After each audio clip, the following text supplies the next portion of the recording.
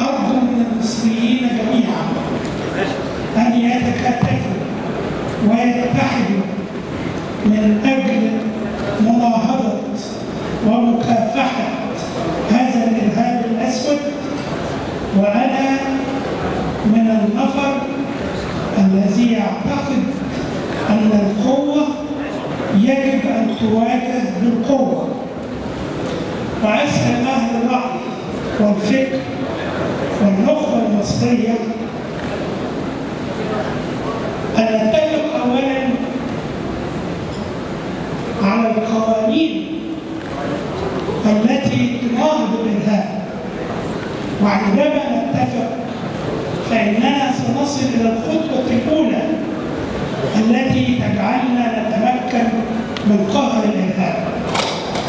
قهر الإرهاب ليس كده عارف ولكنه مسؤولية شعب.